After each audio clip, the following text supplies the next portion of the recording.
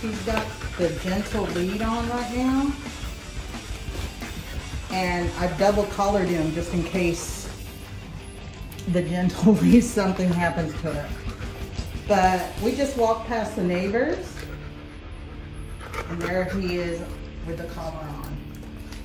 He doesn't like it right now, but he'll get used to it. I love it. It's a game changer. Come on, Bubba's going for his walk. Come on, young man.